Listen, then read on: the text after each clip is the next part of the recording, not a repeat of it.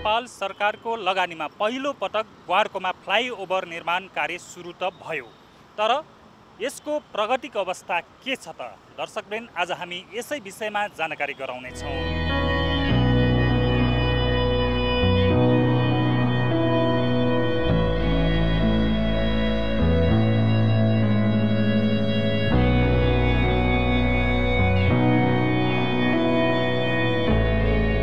यति बेला ललितपुरको ग्वारको स्थित फ्लाइओभर निर्माण चरणमा रहेको स्थलमा आइपुगेका छौँ। यहाँ हामीसँग फिल्ड इन्जिनियर हुनुहुन्छ प्रदीप भट्टराई।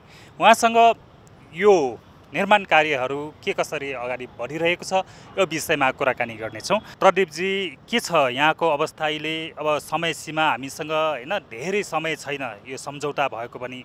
अब यो निर्माणको चरण चाहिँ के कस्तो भइरहेको छ? अहिले हाम्रो अब टाइम तपाईँले भनिहाल्नु भयो टाइम पनि अलिक कन्सटेन्टै छ। साथसाथै हामी त्यही अनुसारले हामी पिकअप पनि लिइरहेका छौँ प्रोजेक्टको। अहिले ठ्याक्कै भन्नुपर्दाखेरि हामी कन्स्ट्रक्सनको अहिले पिक फेजमै छौँ अनि हामीले यहाँनिर देख्न सक्छौँ अहिले आरी वालको काम भइरहेछ। यहाँ प्यानल कास्टिङ हामी डेली जस्तो हामी ट्वेन्टी फोरवटा प्यानल कास्टिङ डेली जस्तो गरिरहेछौँ अनि यो प्यानल अहिले ठ्याक्कै भन्नुपर्दाखेरि चाहिँ प्यानल कास्टिङकै काम भइरहेछ। अब अहिले कति जनशक्तिले काम गरिरहेको छ अहिले हाम्रो डेली तिस पैँतिसजना जस्तो हामी साइडमा खटेर काम गरिरहेछौँ भनेपछि अब यो पहिलो चरणको काम भन्दा हुन्छ यसलाई? यो यो यो यता यो बालकुमारी साइडतिर चाहिँ अहिले हामी यसलाई पहिलो चरण भन्न सक्छौँ। अब चाँडै नै हामी अर्को साइडतिर उता गरकोदेखि पारिपट्टिको साइड हामी उता सातबाटो साइड भनौँ त्यसलाई। त्यो त्यसमा पनि अब हामी बारबेर पारेर उतापट्टि पनि हामी अब इरेक्सनको काम चाँडै सुरु गर्नेछौँ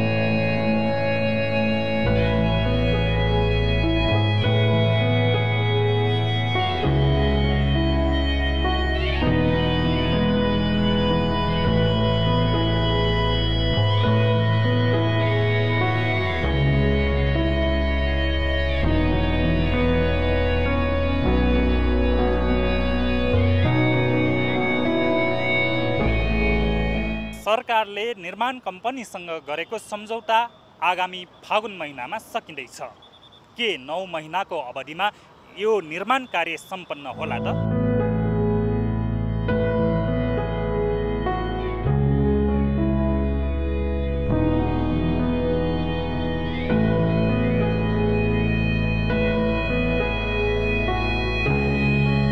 ग्वार्कोको जुन फ्लाइओभरको जुन कन्स्ट्रक्सन टेक्नोलोजी चाहिँ नेपालको लागि नयाँ प्रविधि हो होइन? यसमा जस यो गएको माघमा जुन विभागीय स्वीकृति पश्चात कन्ट्र्याक्टरले डि जुन डिजाइन चाहिँ कन्ट्र्याक्टरले नै पेस गर्छ यसमा यो इपिसी मोडेल भन्छ होइन? इन्जिनियरिङ प्रोक्योरमेन्ट कन्ट्र्याक्ट भन्ने त्यो अनुसार चाहिँ कन्ट्र्याक्टरले आफैले डिजाइन गरेर पेस गरेको चिजलाई विभागले गएको माघ महिनामा एप्रुभ गरेपछि त्यसपछि भएको अहिले भइरहेको प्रगति भन्दाखेरि त्यहाँ अहिले तिनवटा चिज चाहिँ नयाँ प्रविधि छ त्यहाँ। एमएससी वाल एउटा जुन चाहिँ एउटा ठिन कङ्क्रिट वाल हो त्यो एप्रोच रोडमा ब्रिजको एप्रोच रोडमा जानको लागि त्यो वाल कन्स्ट्रक्सन गरेर एप्रोच वाल बनाइन्छ। त्यो वाल चाहिँ अहिले कन्स्ट्रक्सन भइरहेछ। भनेको वाल कन्स्ट्रक्सन होइन कि? त्यसलाई चाहिने जुन कङ्क्रिटको प्यानल ती कन्स्ट्रक्सनको कामहरू भइरहेछ। दोस्रो त्यसमा नयाँ टेक्नोलोजी भनेको एउटा पर्फोरेटेड भर्टिकल ड्रेन हाल्नुपर्ने छ त्यहाँ। त्यहाँको माटो चाहिँ अलिकति विक भएको हुनाले त्यो माटोलाई को स्ट्याबिलिटी बढाउनको लागि चाहिँ भर्टिकल पन्ध्र मिटर गहिरो चाहिँ ड्रेन हाल्नुपर्ने। त्यसको लागि आवश्यक सामान कन्ट्र्याक्टरले सामान फिल्डमा झारिसकेको अवस्था छ। तर त्यो त्यो प्रविधि चाहिँ नयाँ भएकोले उसले चाहिँ अब विदेशी अब कोही काम गर्ने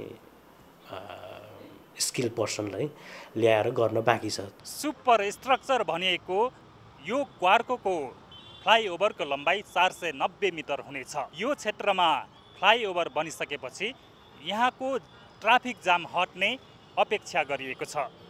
क्यामेरा पर्सन अभिषेक नेपालका साथमा जितेन्द्र रसिक एपी वान